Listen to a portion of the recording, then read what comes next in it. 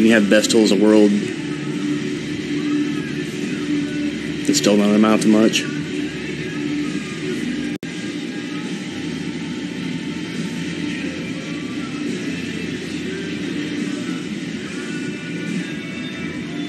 Use what you got.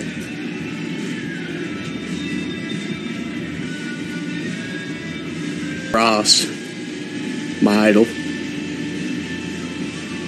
But uh,